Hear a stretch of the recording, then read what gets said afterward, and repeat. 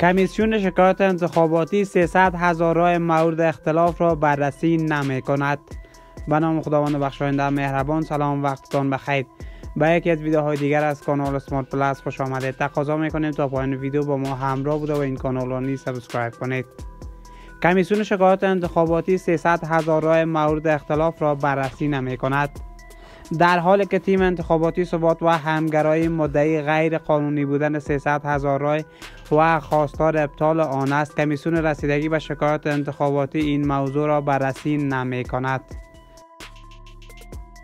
کمیسیون رسیدگی به شکایات انتخاباتی کشور روند بررسی شکایات ولایت کابل که بیشتر آن درباره اختلاف درباره تفاوت آرا می باشد را از روز یکشنبه آغاز کرده است. احمد سمیم فیضی مسئول تحلیل و بررسی کمیسیون رسیدگی و شکایات انتخاباتی گفت که از مجموع 2230 شکایاتی که در ولایت کابل ثبت شده 1400 شکایت مربوط به اختلاف درباره تفاوت آرا است و این شکایت ها اکنون در دست بررسی قرار دارد. با گفته کمیسیون رسیدگی به شکایات بررسی 102 هزار رای خارج از زمان رایدهی ثبت شده. به این نهاد سپرده شده است.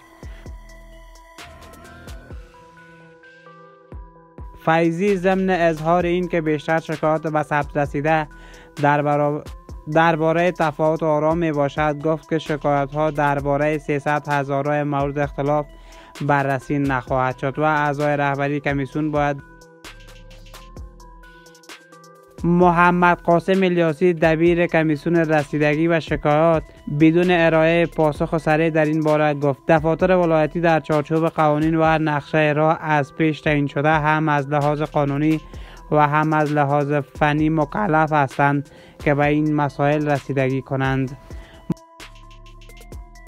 محمد زبیر حبیب زاده سخنگوی بنیاد انتخابات شفاف افغانستان تیفا نیز درباره بررسی شکایت ها گفت شماری از شکایت ها مستند نیست. و کمیسیون مکلف است تا این مورد را از روند خارج کند تا بررسی شکایت به درازا کشیده نشود. با توجه به حجم بالای شکایت ثبت شده امکان دارد که کمیسیون شکایت در زمان مقرر قادر به بررسی همه شکایات نباشند. بگو مگوهای همچنان شایع است که حکومت موقت تشکیل خواهد شد و انتخابات به بنبست رفته است. اما بنبست در انتخابات حکومت موقت را گشای و مشکل زا طولانی شدن اعلام نتایج انتخابات ریاست جمهوری و عدم مدیریت کمشنران این کمیسیون باعث افزایش جنجال ها در این روند شده. شورای نامزدان ریاست جمهوری خواهان دوباره برگزاری انتخابات هستند. آنان طرح حکومت مشارکت ملی انتخابات محور را برای گفتگوهای صلح با گروه طالبان پیشبرد اداره امور و برگزاری دوباره انتخابات ریاست جمهوری پیشنهاد کردند. بر اساس اظهارات شورای نامزدان ریاست جمهوری در این طرح به شش موضوع اساسی از جمله اجرای دموکراسی توافقی یا تفاهمی سهمگیری متوازن هم اقوام در قدرت مذاکره با های دخیل در جنگ افغانستان و رشد اقتصادی کشور که از محورهای اصلی این طرح است اشاره شده است. این طرح با واکنش ریاست جمهوری روبرو شده صدیق صدیقی در واکنش به درخواست این شورا گفته است این طرح در مخالفت سریع با قانون اساسی کشور قرار دارد. صدیقی در صفحه توییتر خود نوشته است که نامزدان انتخابات ریاست جمهوری باید به ارادت تصمیم و جایگاهی را که مردم برایشان برگزیدند احترام قائل شوند. او در ادامه نوشته است که مردم افغانستان در چهارچوب قانون اساسی ارادهشان را با هدف تداوم نظام جمهوری با رفتن پشت صندوق های رایدهی تمثیل کردند و به عقب بر نمیگردند و مردم افغانستان سزاوار طرحهای هوایی و میانتوهی نیستند. قبل از برگزاری انتخابات نیز شورای نامزدان ریاست جمهوری و برخی از سیاسون کشور برای گفتگوهای صلح با گروه طالبان پیشبرد اداره امور و برگزاری انتخابات طرح حکومت موقت را پیشنهاد کرده بودند. چون گروه طالبان حاضر نیستند با حکومت فعلی رو در او گفتگو کنند این گروه حکومت کنونی را دست نشانده امریکایی ها می دانند در امین حال آگاهان سیاسی بر این باورند که مدیریت انتخابات از دست کمیشنران کمیسیون انتخابات خارج شده است. نباید فرصتی که برای صلح افغانستان به وجود آمده است از دست بدهیم. باید یک حکومت موقت تشکیل شود تا گفتگوهای صلح را به پیش ببرد. نعمت الله ابراهیمی آگاه سیاسی در این مورد با آوا گفت. احزاب سیاسی افغانستان باید از فرصتی که در مورد صلح به وجود آمده به صورت درست استفاده کنند و نگذارند که این فرصت صلح قربانی تضادهای منافع کشورهای منطقه و جهان شود.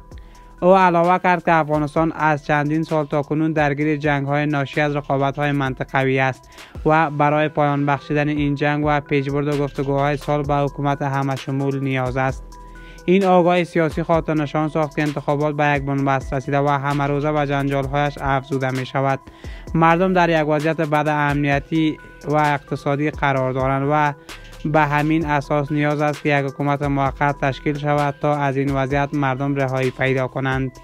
در امین حال نجیب الله محمدزی آگاه سیاسی نیز در مورد تشکیل حکومت موقت با او گفت قبول حکومت موقت به معنای پایان نظام قانونی و دموکرات و برگشت افغانستان به نقطه صفر و سرآغاز یک جنگ دیگر خواهد بود. او ابراز داشت با آمدن هر قدرت دیگری که خواست مردم افغانستان نباشد بیمان می رود که سالهای 90 در افغانستان تکرار و خانه جنگی در این کشور آغاز شود. محمد زی با بیان اینکه مردم افغانستان و جهانیان نباید اجازه دهند که قانون اساسی کنونی نادیده گرفته شود. اظهار داشت که هیچ شخص و کشور همسایه نباید نظام مورد نظر خود را بر مردم افغانستان تحمیل کند.